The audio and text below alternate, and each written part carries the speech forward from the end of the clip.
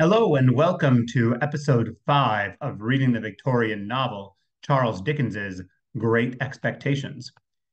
In this installment, we will be talking about chapters 25 to 31, or weeks 19, 16 to 19.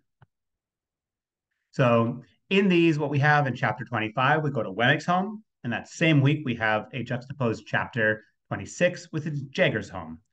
Then, chapter 7, Joe comes to London. Chapter 28, Pip goes back to his village by stagecoach. And then chapters 30 and 31. In 30, we're at the village in Satis House. And in 31, we watch Wopsle play Hamlet. So we're going to start with Wemmick's house. And it's a set up as a castle, a fortification. Wemmick's house was a little wooden cottage in the midst of plots of garden, and the top of it was cut out and painted like a battery mounted with guns. My own doing, said Wemmick. Looks pretty, don't it? I highly commended it. I think it was the smallest house I ever saw, with the queerest Gothic windows, by far the greater part of them sham, and a Gothic door almost too small to get in at. That's a real flagstaff, you see, said Wemmick. And on Sundays, I run up a real flag. Then look here, after I have crossed the bridge, I hoist it up, so, and cut off the communication. The bridge was a plank, and it crossed a chasm about four feet wide and two deep. So, what I want to point out here is that Wemmick lives in a world of fancy, but it's a world of defensive fancy. He's trying to hold out the external realm from this little slice of paradise and fancy that he has created of imagination for himself and his aged P, his aged parent. Um, and so that's why we have lines like cut out and painted like and then the windows being a sham. And notice in the early chapters, Pip was the one that was an agent of fancy against the realism. But now, as he's come into his gentlemanly status, he's asserting the realism against Wemmick's fancy. So that's why Wemmick says a bridge and Pip says a plank. And he calls the windows out for being shams. The flags, though, are really interesting, right? Because Wemmick is playing at flags every Sundays, moving them up and down, which actually recalls back when Pip had the fancy. He said in chapter nine, when he's coming up with his lie about being at Satis house, we played with flags. I said, I beg to observe that I think of myself with amazement when I recall the lies I told on this occasion. Legs? echoed my sister. Yes, said I. Estella waved a blue flag, and I waved a red one, and Miss Havisham waved one sprinkled all over with little gold stars out of the coach window. And then we all waved our swords and hurrahed. So, in some ways, the fancy of the child Pip is manifesting in the reality of Wemmick's imagined castle. Um, also in Wemmick's house, we have another type of forgery. So you'll remember we have the kind of foraging that is at Joe's place, this idea of you take and craft something that you have to be a master at. But then we also have the foraging that happens in London among the criminal class. The interval between that time and supper, Wemmick devoted to showing me his collection of curiosities. They were mostly of a felonious character, comprising the pen with which a celebrated forgery had been committed, a distinguished razor or two, some locks of hair, and several manuscript confessions written under condemnation, upon which Mr. Wemmick set particular value as being, to use his own words, every one of 'em lies, sir. These were agreeably dispersed among small specimens of china and glass, various neat trifles made by the proprietor of the museum, and some tobacco stoppers carved by the aged. So I'm interested, first of all, in this idea of the other type of forgery, right? But then also we have this kind of notion of collecting and of value. And this will connect in some ways to the increased presence of museum culture throughout the 19th century. So, since the Renaissance, people had been engaged in creating what they called cabinets of curiosity. This culminates in a lot of ways with the Pitt Rivers Museum that you see here from Oxford, just a constant barrage, visual barrage of items that have been selected to be clumped together and displayed. And so the idea that Wemmick is a connoisseur of the criminal is really fascinating that he has this personal collection that he likes to show off. He is a curator in that way. So Wemmick's house gets immediately juxtaposed in the next chapter to Jaggers's. He took out his key and opened the door, and we all went into a stone hall, bare, gloomy, and little used. So, up a dark brown staircase into a series of three dark brown rooms on the first floor. There were carved garlands on the paneled walls, and as he stood among them giving us welcome, I know what kind of loops I thought they looked like. So notice all of these kind of monosyllabic, heavy words stone, bare, dark brown rooms, like three dark brown rooms, right? Really kind of aggressive. Next to the barrage of like fanciness that we had at Wemmick's place, we have the reality here of Jaggers's. And notice these garlands, which should bring some levity, actually remind Pip of nooses. So when he says the kind of loops I thought they looked like, he's referring to the noose, the hangman's noose. We also deliberately juxtapose these two houses in terms of work and home. So at Wemmick, we had this quote No, the office is one thing and private life is another. When I go into the office, I leave the castle behind me. And when I come into the castle, I leave the office behind me. If it's not in any way disagreeable to you, you'll oblige me by doing the same. I don't wish it professionally spoken about. So Wemmick creates this very sharp distinction between his realm of fancy and then he, uh, which lets him clean off the Newgate cobwebs and his workplace. But with Jaggers, in a corner was a little table of papers with a shaded lamp, so that he seemed to bring the office home with him in that respect too, and to wheel it out of an evening and fall to work. So Jaggers' work and home are closely connected. Uh, another way that that's connected is where he washes his hands. He does the same hand washing in each location. Um, it's a really masterful kind of weekly installment of using these two different locations. And you'll also notice that um, Wemmick is allowed to talk about his realm in a way that maybe Jaggers is not so much. Um, and the prose style is very different as well. Uh, it's really worthwhile to spend some time appreciating these two chapters on your own.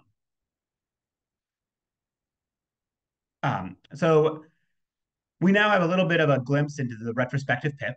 This is about the servant that Jaggers has. She set on every dish, and I always saw in her face a face rising out of the cauldron. Years afterwards, I made a dreadful likeness of that woman by causing a face that had no other natural resemblance to it than it derived from flowing hair to pass beyond a bowl of flaming spirits in a dark room. Um, so, one, it points us to the fact that this is being written by an older Pip, um, retrospectively remembering these times. The other, though, is we're spending some time on this servant in a way that is odd. We've just finished comparing her to a witch from Macbeth and the Witch's Cauldron. And now Pip says he became a conjurer. So I'm going to use this to go on a little biographical interlude. Um, this quote comes from Mamie Dickens's My Father, as I recall him. At our holiday frolics, he used sometimes to conjure for us the equally noble art of the prestidigitateur being among his accomplishments. And then later, but the best of it is that Forster, and this is um, Dickens kind of talking. But the best of it is that Forster and I have purchased between us the entire stock and trade of a conjurer, the practice and display whereof is entrusted to me. And if you could see me conjuring the company's watches into impossible tea caddies and causing pieces of money to fly and burning pocket handkerchiefs without burning them and practicing in my own room without anybody to admire, you would never forget it as long as you live. So um, I the the elements that Dickens talks about are different from this conjuring that I have here in the passage, which is about making things appear out of steam, but it fits into the idea of Dickens the conjurer. Um, this is an image that connects to a, playbill that Dickens actually con- um, created when he was on the Isle of Wight. Uh, and this is from Forster's Life. This is the, the notes. He made a playbill, and this is what he wrote about it, calling himself the person who I will say. The unparalleled necromancer Rhia Rhama Rhoos, educated cabalistically in the orange groves of Salamanca and the ocean caves of Alum Bay, some of whose proposed wonders it thus prefigures the leaping card wonder. Two cards being drawn from the pack by two of the company and placed with the pack in the necromancer's box will leap forth at the command of any lady of not less than eight or more than 80 years of age. This wonder is the result of nine years of seclusion in the mines of Russia.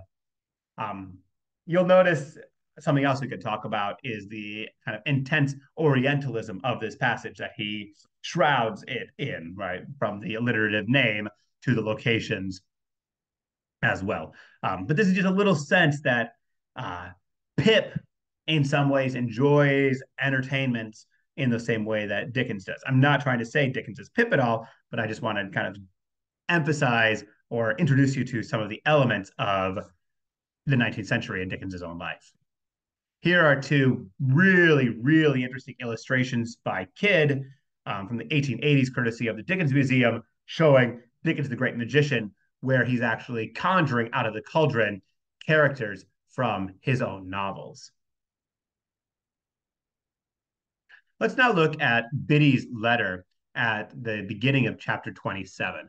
It's a really remarkable piece of writing, and letters are something that's worth thinking about in Great Expectations. So we looked at Pip's earlier letter, right, when he can't spell. And then there's a letter that kind of goes unreported. And now we start a chapter with this My dear Mr. Pip, I write this by request of Mr. Gargery, for to let you know that he is going to London in company with Mr. Wopsle, and will be glad, if agreeable, to be allowed to see you. He would call at Barnard's Hotel Tuesday morning at nine o'clock, when, if not agreeable, please leave word. Your poor sister is much the same as when you left. We talk of you in the kitchen every night, and wonder what you are saying and doing. If now considered in the light of a liberty, excuse it for the love of a poor old days. No more, dear Pip, from your ever obliged and affectionate servant, Biddy. P.S. He wishes me most particular to write, What larks! He says you will understand. I hope and do not doubt it will be agreeable to see him, even though a gentleman. For you had ever a good heart, and he is a worthy, worthy man. I have read him all, excepting only the last little sentence, and he wishes me most particularly to write again, What larks! So in this, um, what's nice about it is it's all polite on the surface, but it also shows a critique, right? Biddy is saying she's writing on behalf of somebody else, not on her own. And this triple repetition of, is it going to be agreeable? Is it not? culminates in that conclusion when she says, I hope and do not doubt it will be agreeable, which is the implication of, hey, Pip, you got to see him. Don't try doing any fool tomfoolery. Um, we also learn implicitly that Pip has not been writing back. He has not been inquiring about her, his sister because Biddy has to say this to him, right? Much the same as when you left. That when you left tells us Pip has not made any inquiries. She calls herself a servant, making herself below the Mr. Pip um, notice, though, too, by saying Mr. Pip, she's adhering to the rules of his inheritance, his expectations. Um, and then she plays with tense in a really interesting way, right? You had ever a good heart, reminding him of in the past. Maybe now he does not have one, right? Which we learned when he said he had come into the expectations and he accused Biddy of having a bad heart. Um, but Biddy emphasizes about Joe. Joe is consistent into the present, is a worthy, worthy man. That repetition of worthy also telling us what she thinks of him. So Joe comes, and we have what I think is one of the most cruel paragraphs in the novel, but it's easy to overlook. Presently, I heard Joe on the staircase. I knew it was Joe by his clumsy manner of coming upstairs, his state boots being always too big for him, and by the time it took him to read the names on the other floors in the course of his ascent. When at last he stopped outside my, our door, I could hear his finger tracing over the painted letters of my name, and I afterwards distinctly heard him breathing in at the keyhole. Finally, he gave a faint single rap, and Pepper, such was the compromising name of the avenging boy, announced, Mr. Gargery. I thought he would never have done wiping his feet, and that I must have gone out to lift him off the mat. But at last, he came in. Joe, how are you, Joe? Pip, how are you? Pip. So Pip could have gone out and helped Joe. That's the fundamental thing I want to emphasize about this passage. Instead, he stays inside and he listens to Joe struggle. Joe has a hard time reading, right? he has um, a hard time knowing where Pip is. Pip could facilitate all of this by running outside and saying, Joe, I'm right here. Come on. But instead, we get this passage of him detailing and judging Joe's struggles, down to his stentorian breathing, even at the keyhole, and his hesitation, right? All of these things have filled Joe with kind of uh, anxieties on his own. Uh, and then he comes in and is greeted. And here we get a wonderful bit How air you, Joe? where the text, the, the all caps, the kind of the mispronunciation is Pip is putting on airs. And Joe is kind of textually critiquing him. One of three of the most famous sentences in this book comes here. Joe writes a letter. Joe tells Pip he's gonna not see him again. Pip, dear old chap, life is made of ever so many partings welded together, as I may say. And one man's a blacksmith, and one's a whitesmith, and one's a goldsmith, and one's a coppersmith. Divisions among such must come and must be met as they come. You won't find half so much fault in me if, supposing as you should ever wish to see me, you come and put your head in at the forge window and see Joe this blacksmith. There at the old anvil, in the old burnt apron, sticking to the old work. I'm awful dull, but I hope I've beat out something nigh the rights of this at last. And so God bless you, dear old Pip, old chap. God bless you. So this line, life is made of ever so many parties welded together, is a fundamentally important line. Like it's hard to emphasize, overemphasize it. So it operates in a number of ways. One, it's a metaphor that Joe comes up with because he uses welding, and that's blacksmith language. And you take a lot of parts, you weld them together, and you create a new whole. It creates a chain. You can think of it that way. Um, and it doesn't matter the material, right? Blacksmith or goldsmith or coppersmith. But people have to be divided eventually. And that's the way life is, right? You're probably not friends with your kindergarten friends, but they were fundamental for who you are and who you're going to become. The other thing that this is a reference to, in addition to that idea of a metaphor from blacksmithing or an idea of separation, is the weekly installments of Reading Great Expectations. The text itself is made of ever so many parts, weekly parts that have been put together and will create a whole. So, in that way, it is what's called metatextual. That is literature about literature. It's a statement about how do we read. And then in the second paragraph, we get something really nice about approaching a thing on its own terms and in its own context, right? Joe the blacksmith in that place. And notice this repetition of old anvil, old apron, old work, and then calling Pip old chap. When those things all go together, the world works. Um, this idea as well, a last kind of blacksmithing metaphor, I beat out something nigh the rights of this, right? like banging it out with the hammer on the anvil. So it's really kind of a, an amazing line, just devastating its sublimity. Uh, so a literary term is chiasmus. Uh, I wanted to say something about chapter 28, which is Pip is in the stagecoach heading back to the village. Uh, and what I will introduce is chiasmus. Chiasmus is an ABBA structure, usually of adjective, noun, noun, adjective, but we have a really elaborate one in this phrase describing the marshes mudbank, mist, swamp, and work. Work, swamp, mist, and mudbank. So you'll see here, I've tried to use letters to indicate that we have an A, B, C, D, D, C, B, A. Um, so what chiasmus does is it creates an X, literally from the, the Greek chi, which is the X shape, and it creates a, a locked in system. And so, in this way, we might think that when you are in the village, you're kind of locked or you're stuck, you can't escape.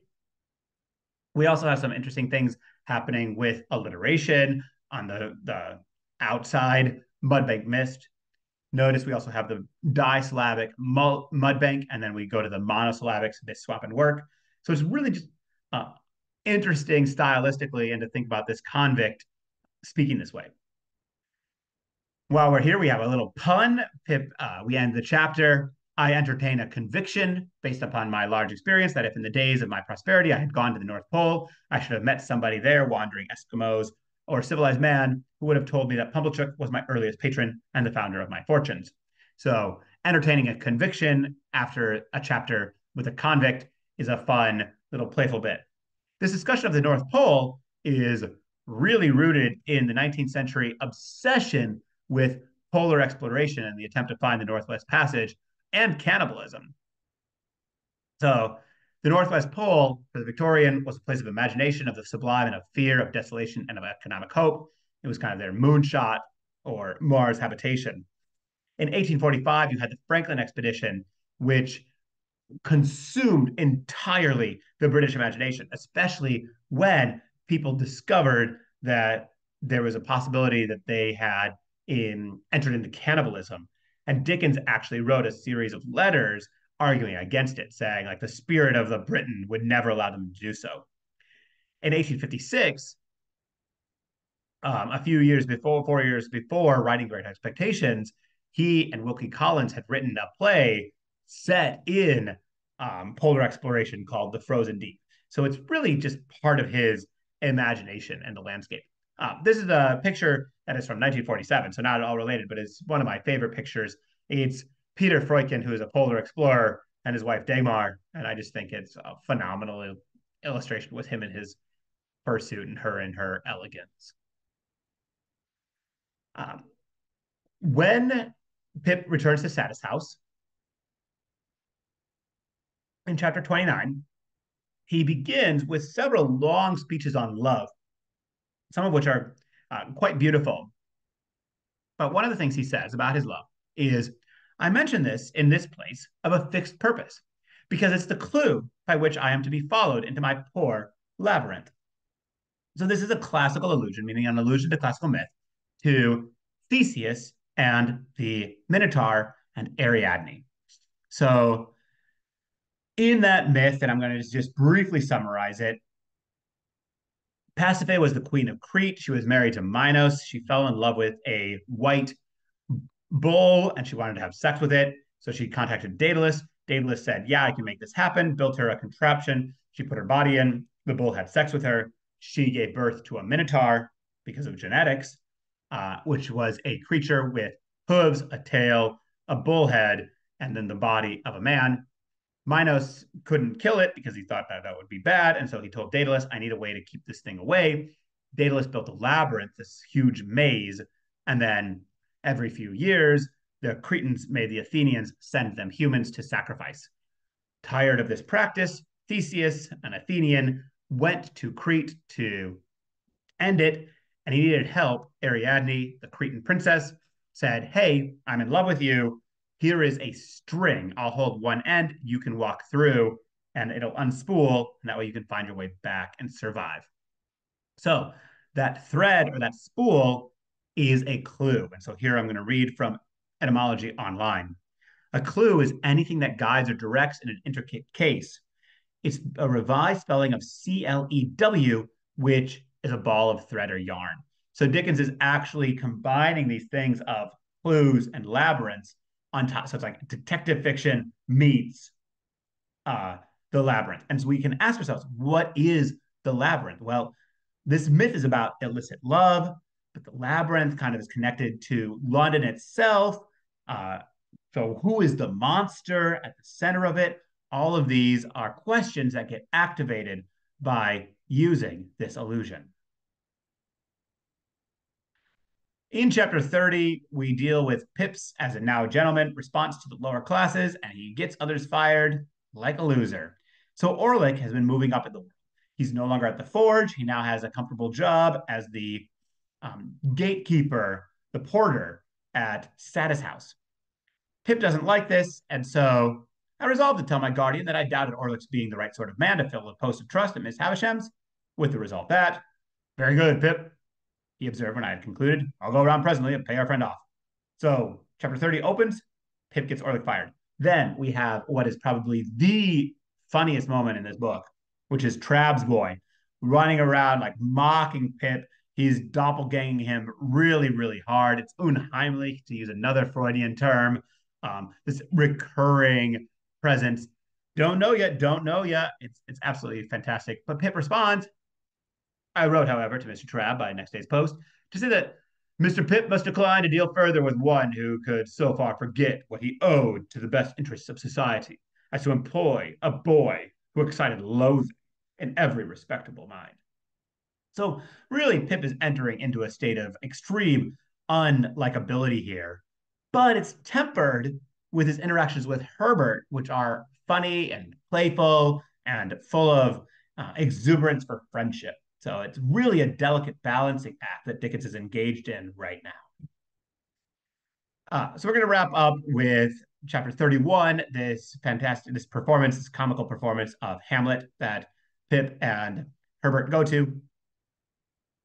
Afterward, Wopsle kind of invites himself out with them. So Pip, I invited him and he went to Barnard's with us, wrapped up in the eyes. And we did our best for him. And he sat until two o'clock in the morning, reviewing his success and developing his plans.